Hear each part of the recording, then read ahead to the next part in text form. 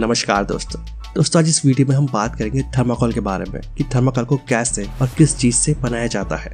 तो इस वीडियो में तक बने रहें और वीडियो पसंद आए तो वीडियो को लाइक और शेयर ज़रूर करें।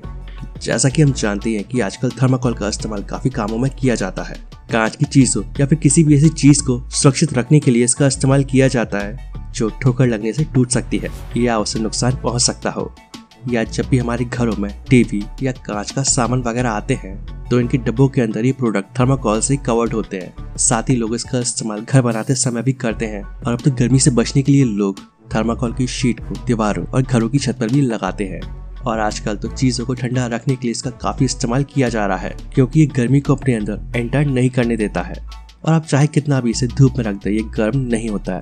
दोस्तों थर्माकोल का वैज्ञानिक नाम पॉलिस्टेरिन है और ये थर्माकोल भी एक तरह का प्लास्टिक ही होता है, लेकिन ये वज़न में काफ़ी हल्का और कमज़ोर होता है।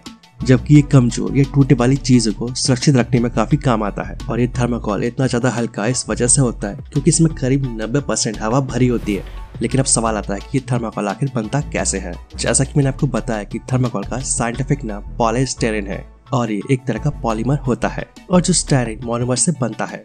और ये एक तरह का प्लास्टिक है जो हमें पेट्रोल और डीजल के जैसे कच्चे तेल से मिलता है।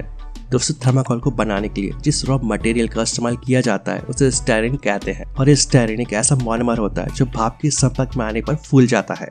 यानी कि जैसे ही स्टीम यानी कि भाप के संपर्क में आता है तो इसका पाउडर छोटे छोटे दानों में बदल जाता है। और कुछ इस तरह से एक बड़े स्केल पर स्टेरिन को भाप के संपर्क में लाकर लाखों करोड़ की संख्या में थर्माकोल के छोटे छोटे दाने तैयार कर लिए जाते हैं।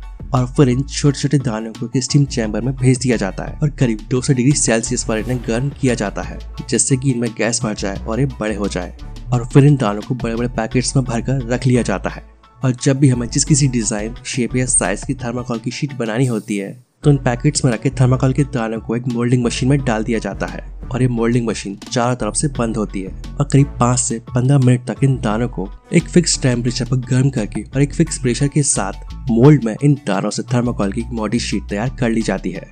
एक फिक्स टेम्परेचर पर गर्म करने और प्रेशर की वजह से ये दाने फैल जाते हैं, लेकिन चारों तरफ़ से एक मोल्ड में बंद होने की वजह से ये इतने ज़्यादा भी नहीं फैल पाते हैं। और प्रेशर की वजह से ये दाने एक दूसरे से चिपक जाते हैं।